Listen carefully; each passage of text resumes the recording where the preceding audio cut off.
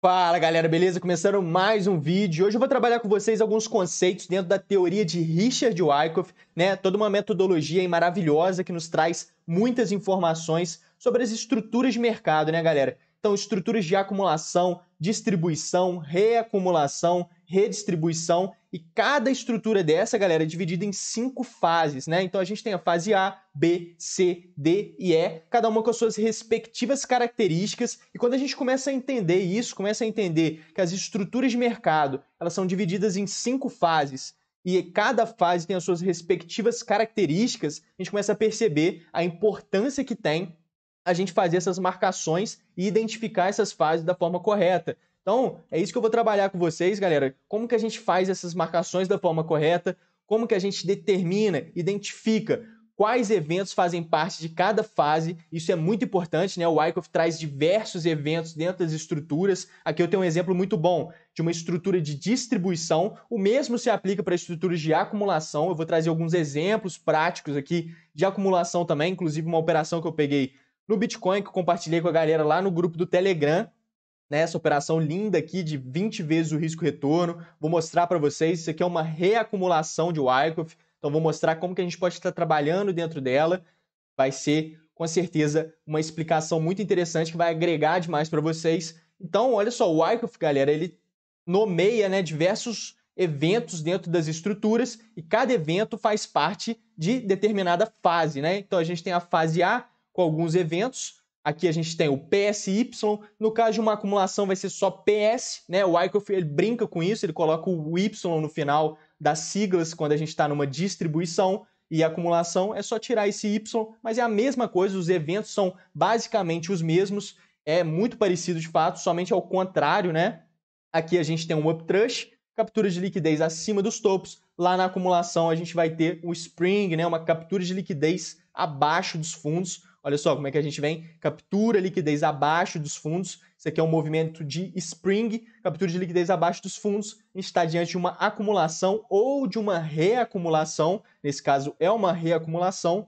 E aqui a gente tem captura de liquidez acima dos topos, chama uptrush. Então, é uma distribuição ou uma redistribuição. Beleza, galera? Isso vai ficar bem nítido ao longo das explicações. Então, bora para o conteúdo, bora para o vídeo.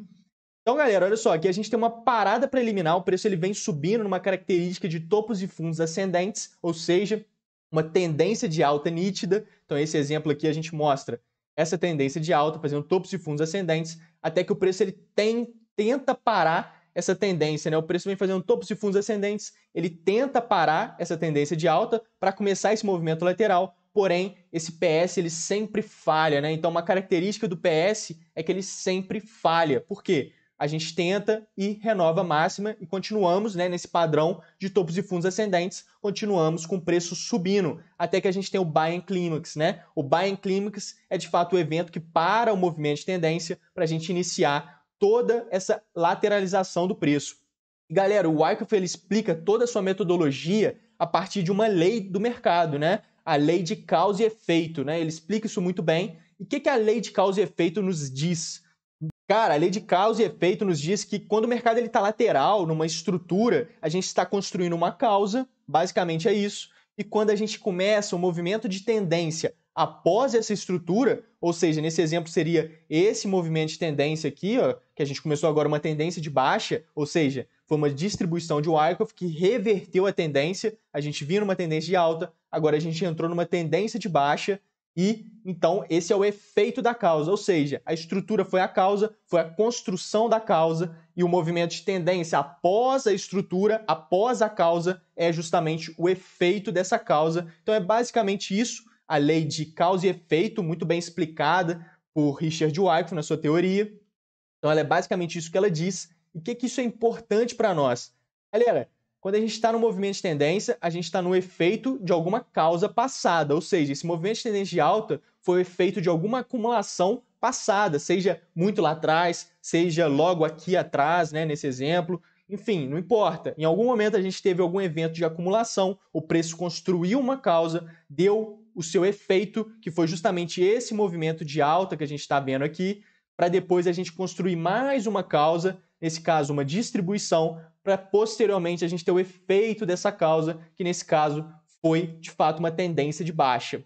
Então, o buy and climax, galera, é um evento que para esse efeito, né? Ele para esse movimento de tendência e a gente entra para a construção de uma nova causa, que é a lateralização, que é a construção dessa estrutura. Então, galera, a fase A de mercado, ela tem como característica né, os eventos de PS, aqui PSY, o BC, né, o Buy and Climax, no caso da distribuição. Se for na acumulação, vai ser o Sell and Climax, mesma coisa, mas o evento, as características são as mesmas, só muda a questão da nomenclatura mesmo, como eu comentei, comentei com vocês.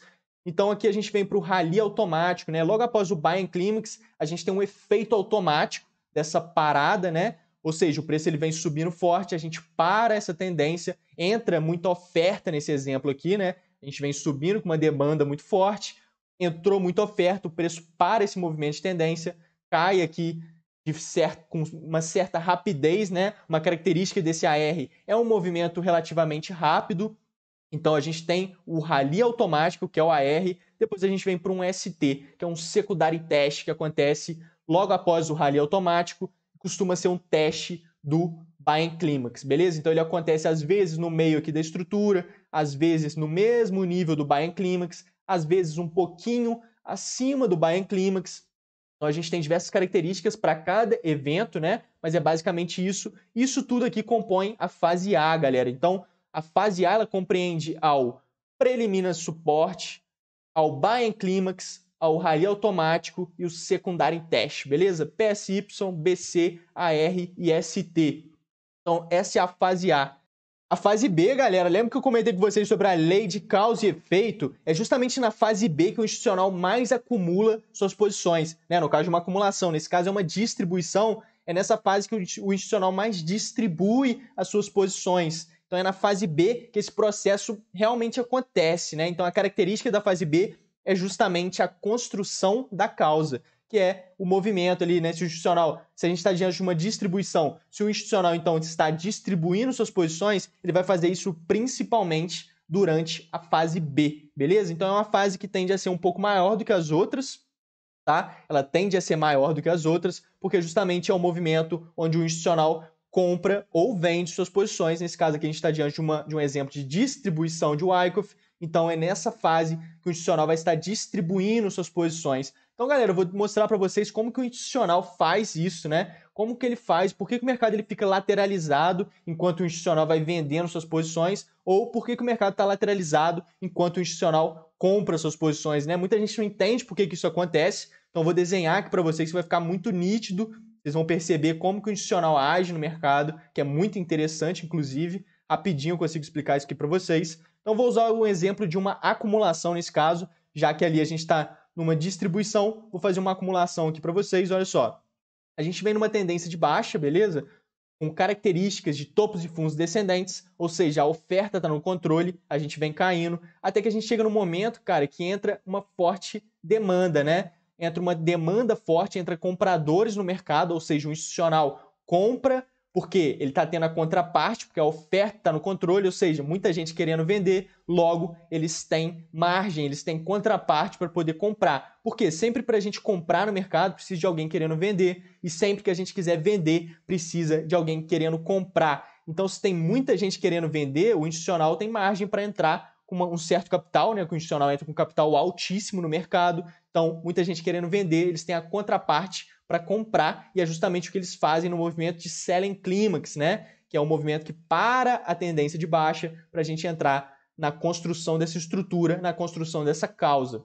Então, aqui a gente tem o selling clímax, entra uma pressão de comprador, uma pressão da demanda muito forte, e aí a gente tem o movimento de AR, né? Que é o movimento efeito dessa pressão que entrou no selling clímax, e aí o institucional, galera, vamos supor que ele tem 50 bilhões para entrar no mercado, né? O institucional ele é assim, ele separa para entrar hoje no mercado, por exemplo, 50 bi, né? 50 bilhões. Aí o que, que ele faz? Ele não compra isso tudo de uma vez, não tem como, né?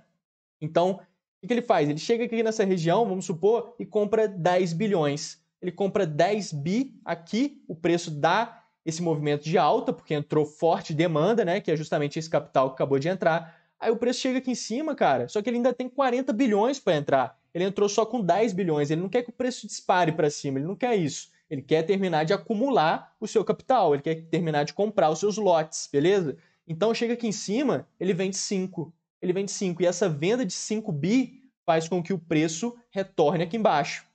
E aí ele retorna aqui embaixo, o institucional vai e compra mais 10 bi, por exemplo. Então ele comprou 10, vendeu 5, ficou só com 5, né? Chegou aqui embaixo, ele comprou mais 10, agora ele está com 15. Aí, o preço sobe né, automaticamente, chega aqui em cima, ele vende 5 de novo. Ou seja, ele estava com 15, agora ele está com 10. Aí o preço cai de novo, ele compra 10 de novo, agora ele está com 20. Aí chega aqui, ele vende 5, né? agora ele está com 15. E por aí vai, o preço vai lateralizando, né? mais ou menos dessa forma. E aí, até que em algum momento né, dessa lateralização, ele conseguiu acumular todo o seu capital, né, que ele está querendo entrar no mercado, ou seja, os 50 bilhões, e aí a gente tem algum tipo de movimento de captura de liquidez, né, nesse caso seria um spring, para depois a gente ter o efeito dessa causa que foi construída. Qual foi a causa construída? Cara, a compra institucional, né, uma acumulação.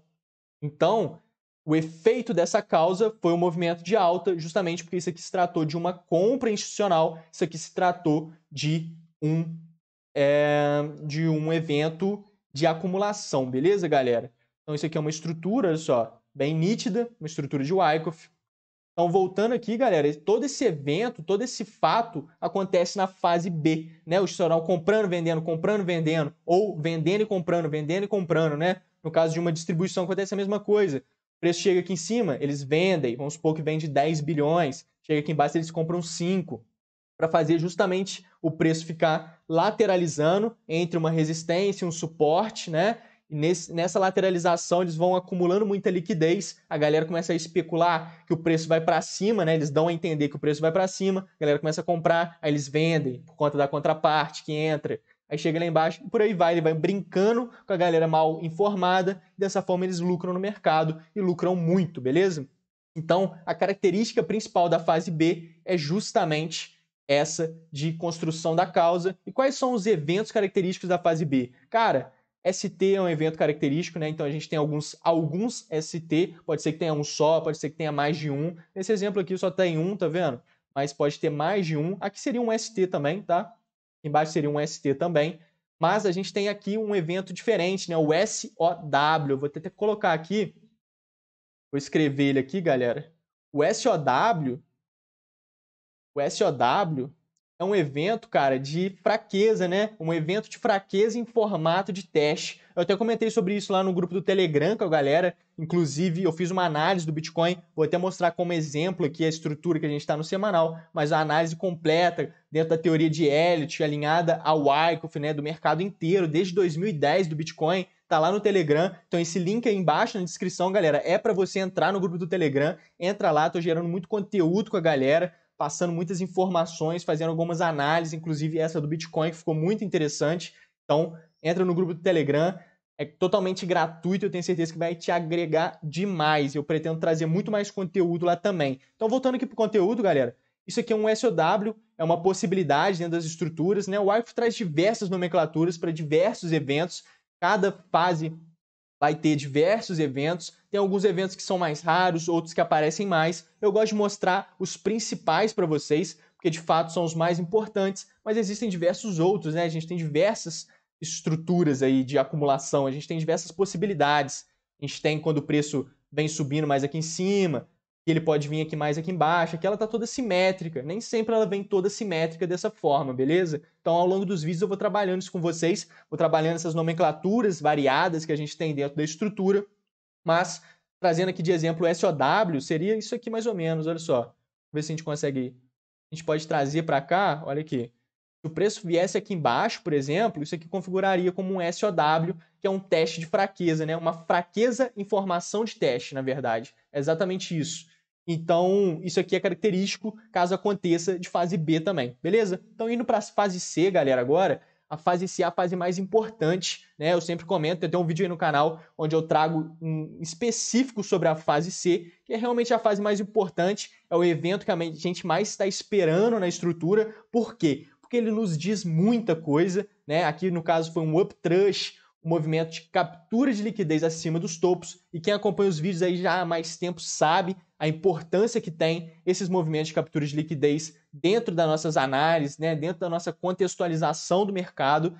Cara, é, captura de liquidez nos diz muita coisa. Quando a gente tem uma captura de liquidez acima dos topos e todo o contexto está alinhado para que aquilo ali seja de fato uma distribuição e a gente vê essa captura de liquidez acima dos topos, a gente consegue contar as fases, né? A gente conta as fases todas direitinho, a gente consegue perceber que a gente está de fato numa fase C, né? Então isso é muito importante, porque às vezes a galera vê isso aqui, olha só, e acha que isso aqui foi um spring né? Galera veio, até, foi até bom eu explicar isso aqui para vocês, porque olha só, a galera vê isso aqui e acha que foi um Spring, mas na verdade não, isso aqui é outro evento de Wyckoff, porque a gente está em fase B. O Spring ou o Uptrush, que são os movimentos de captura de liquidez, eles são de fase C. Por isso que esse vídeo aqui é muito valioso, por isso que esse vídeo é muito importante, porque você saber identificar se a gente está numa fase B ou numa fase C, por exemplo, nos diz muita coisa. Por quê? Se a gente sabe que a gente está numa fase B, a gente entende que, cara, isso aqui não é um Spring. Isso aqui não, vai, não é um Uptrush. Isso aqui não é uma captura de liquidez de fato, de fase C.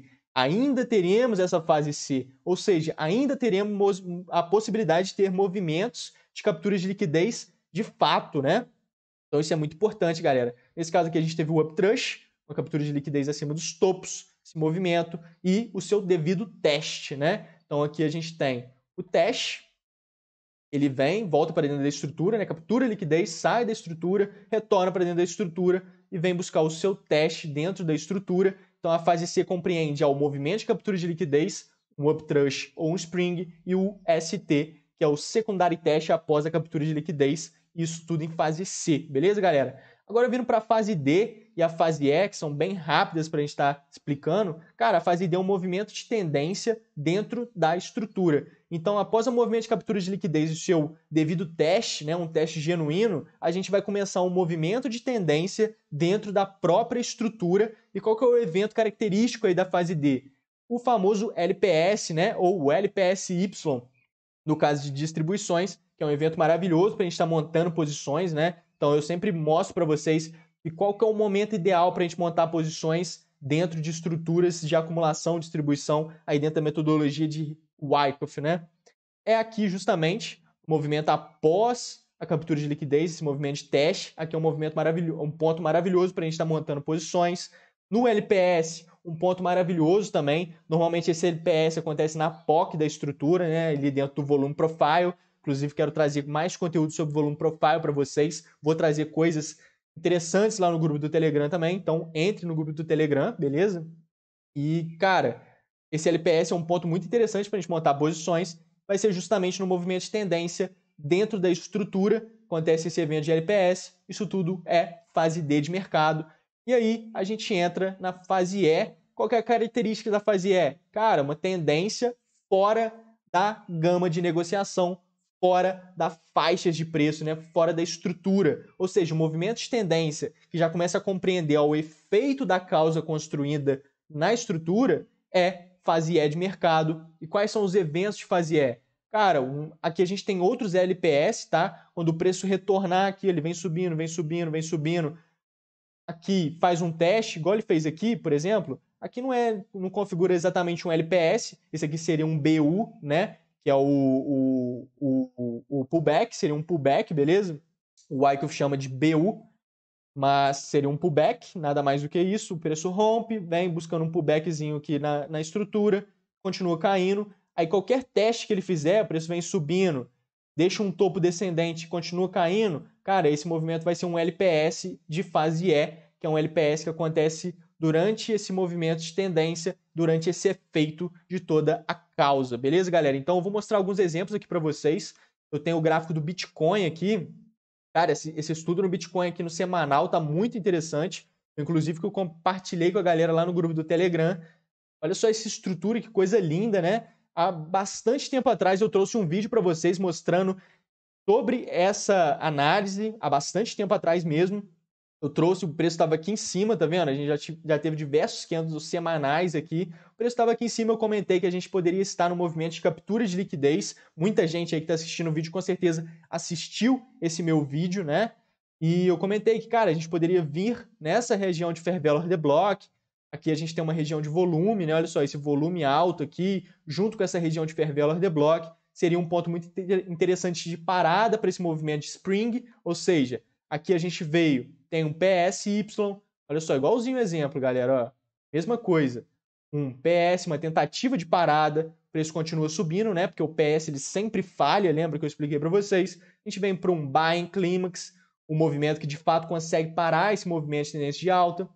A gente vem para um rally automático, né, um movimento que acontece relativamente forte, relativamente rápido. Olha só como é que a gente teve dois candles aqui, já chegou aqui embaixo bem rápido. Esse aqui foi o rally automático, por conta da oferta que entrou nessa região para conseguir parar todo esse movimento de alta, né? Entrou grande oferta aqui por conta dessa grande alta que a gente vinha. Depois a gente vem para um ST, olha só como é que está muito bem alinhado com isso aqui. Olha só, tá idêntico, cara, tá muito bonita estrutura. Depois a gente vem pro um up trust action. Ah lá, a gente está em fase B. Isso aqui não é um up trust de fase C, é o up trust action, que é justamente isso aqui, ó. O SOW é quando a gente tem esse movimentozinho aqui que perde o suporte momentaneamente, né? um movimentozinho de captura de liquidez mínimo. Aqui embaixo chama de SOW. Se ele ocorrer aqui em cima, a gente vai chamar de Uptrust Action, que é o Uptrust Action em fase B, beleza? Que não é um movimento de captura de liquidez de fase C, o tão esperado movimento, mas é uma, uma perda da, da, do máximo deixado pelo Buying Climax, beleza? E é justamente o que a gente tem aqui. Muito configurado, muito teórico, muito bonito. Ele perde um pouquinho, tá vendo como é que ele sobe um pouquinho aqui? Isso aqui é um Uptrust Action de fase B, ou seja, a gente entende que a gente ainda tem os movimentos de captura de liquidez de fase C, porque a gente sabe identificar os eventos característicos de cada fase, né? Beleza? Então, olha só, galera. A gente vem caindo, vem faz um outro ST e vem para o movimento de captura de liquidez, um possível, um potencial spring, né? E aí, nesse vídeo lá atrás, eu comentei com vocês que o que, eu gostaria de ver e o que, que a gente poderia muito fazer. Cara, uma estrutura menor, para impulsionar o preço a retornar para dentro da estrutura maior. E é justamente o que a gente está vendo aqui no fundo desse spring, né? A gente está vendo aqui o preço fazendo uma estrutura menor para tentar impulsionar esse preço novamente para dentro dessa estrutura maior, para eventualmente a gente ter o efeito dessa causa, pode ser algum movimento de alta aqui posteriormente, beleza, galera?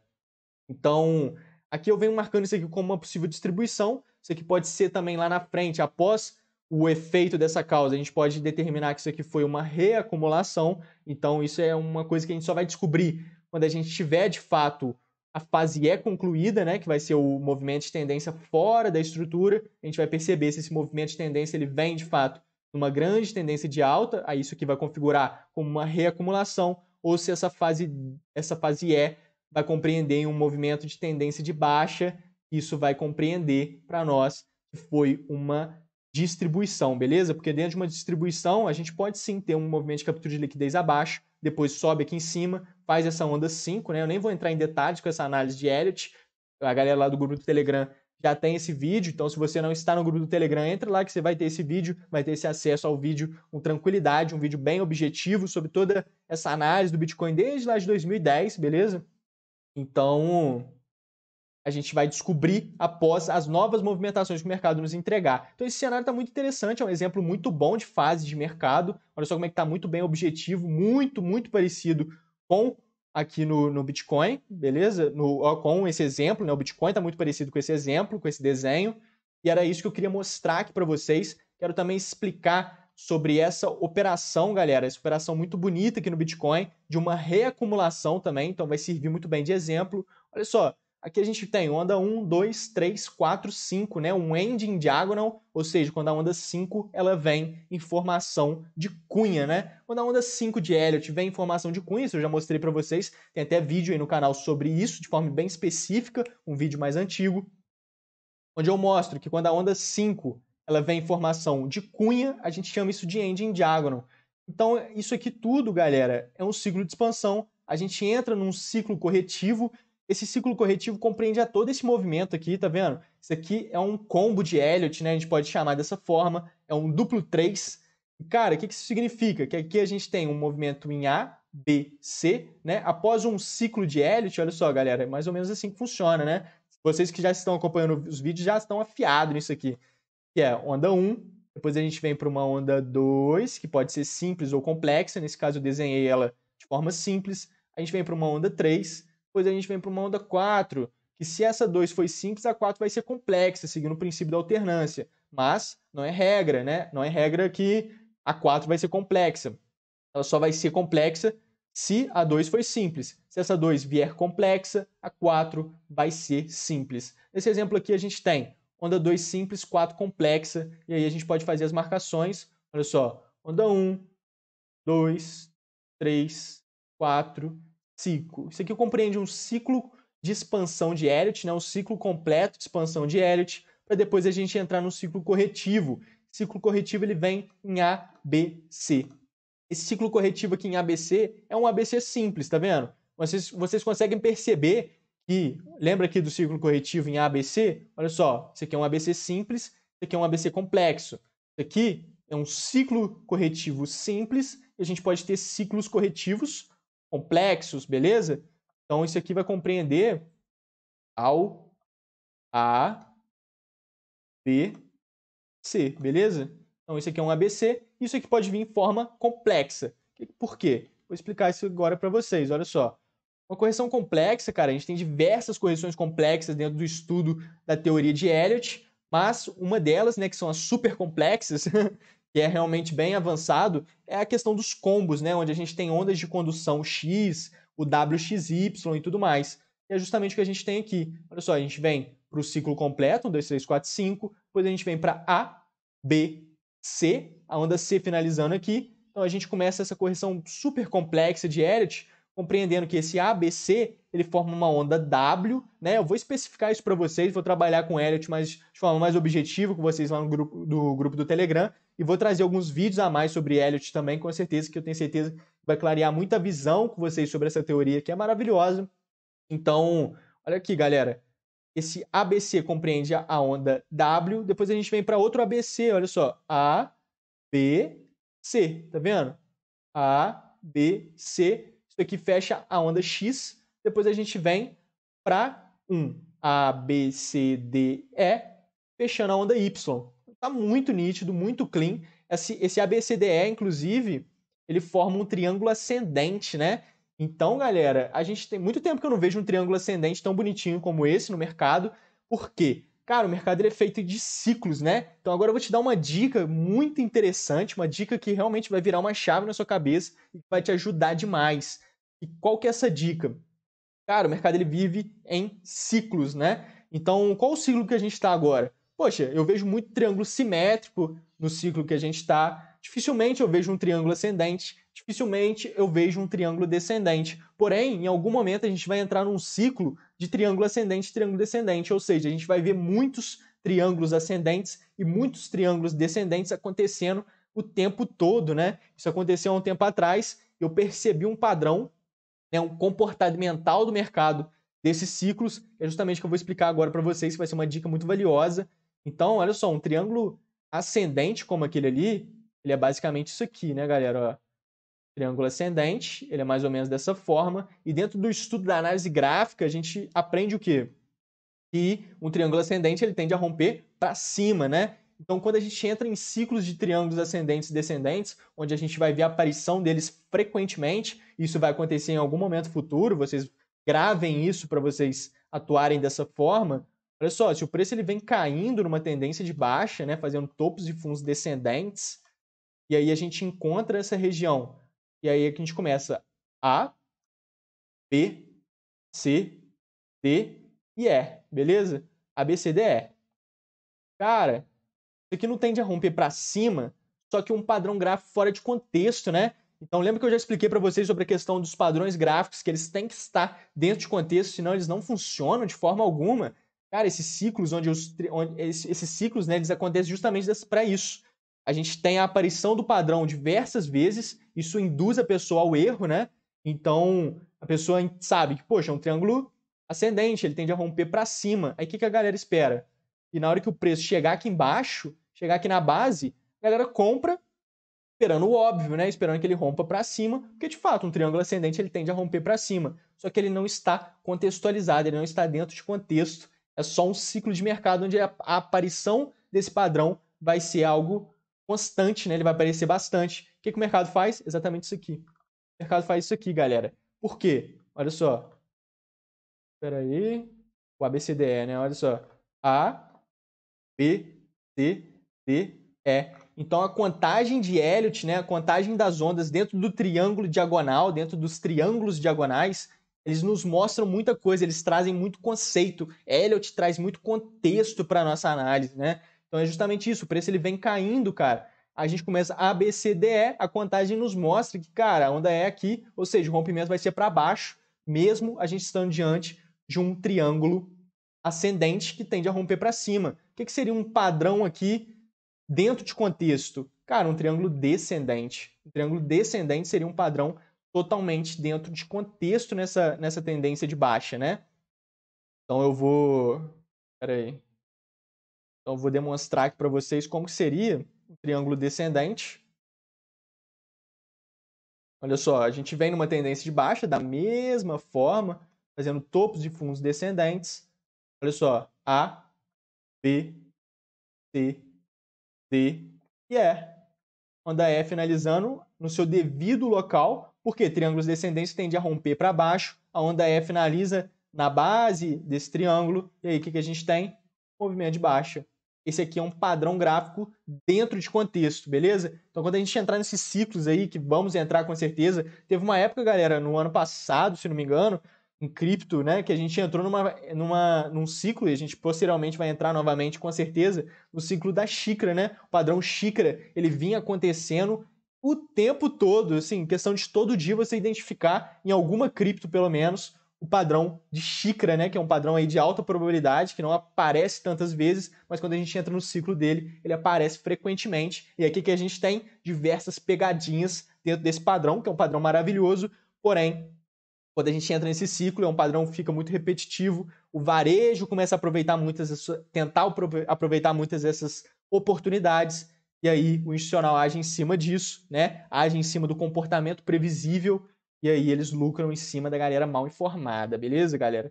Então, queria trazer essa dica para vocês. Só vou terminar de explicar aqui muito rapidinho essa, essa operação, que eu tenho certeza que vai agregar muito para vocês. Então, aqui a gente tem esse cenário, configurou um cenário muito bonito. Aqui a gente tem uma pequena estrutura de Wyckoff, né? uma reacumulação.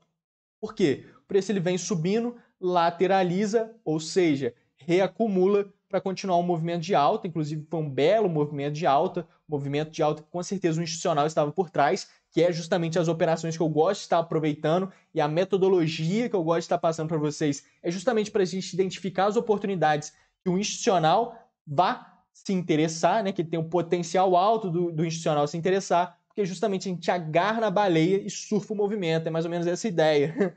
mais ou menos essa ideia da metodologia, você agarrar nas costas da baleia e surfar o movimento junto com ela. É mais ou menos isso que eu tento explicar para vocês. Então, aqui eu montei uma posição nesse fundo do Spring. Né? A gente pode considerar que aqui a gente teve um PS, aqui a gente tem um Selling Climax, um AR, depois a gente vem para um STzinho, né, que foi um SOW, lembra do SOW? Ele perde um pouquinho, olha só. Exatamente, olha só. Ele perdeu o fundo do ela é em clímax, tá vendo? Foi justamente um SOW. E aí a gente vem lateralizando, faz um outro ST, veio formando essa cunha, que foi muito interessante, quando a gente vem formando movimento afunilado, nessa né, cunha em movimentos de fase C, cara, fica muito interessante. Então aqui a gente entrou uma demanda muito forte, galera, olha só. Esse, essa foi a análise que eu fiz em tempo real, né, na hora. Cara, olha a demanda que entrou, a gente vinha caindo forte, olha a demanda que entrou, a gente joga no 15 minutos, vocês vão entender o que eu tô falando né? Vamos ver. Olha isso aqui. Olha esse candle de absorção que a gente teve aqui. Todo aquele movimento que eu mostrei nos 5 minutos ali da demanda compreende a esse candle de absorção aqui. Olha só o esforço versus resultado que a gente tem.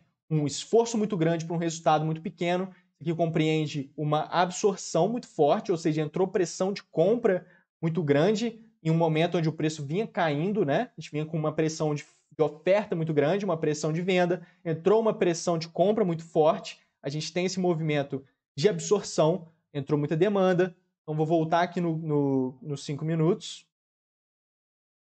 Olha só, entrou muita demanda. O que, que acontece quando entra muita demanda? Cara, o preço ele vem testar o comprometimento dessa demanda e vem testar o comprometimento da oferta também, né? Ou seja, o preço volta a cair, porque antes o preço vinha caindo forte. Entrou muita demanda, preço vem vindo, aí ele vem caindo de novo. Para quê? Para ver, opa, vou cair de novo para ver se vai ter gente querendo entrar forte em venda, né? Da mesma forma que entraram forte em venda aqui, eu quero ver se essa galera vai estar tá comprometida em entrar forte em venda novamente. E é justamente esse teste de comprometimento que testa também o comprometimento da demanda, que entrou muito forte aqui. Vamos ver se eles vão entrar muito forte de novo quando o preço se aproximar dessa região. De fato, esse teste ele vem, ele vem em baixo volume, tá vendo? Comparado ao volume que entrou aqui. E aí a gente tem esse teste de demanda, tem esse movimento, um belo movimento, né? Inclusive aqui já pegou a ordem, olha só tem esse belo movimento de alta, um trade de 20 vezes o risco, né?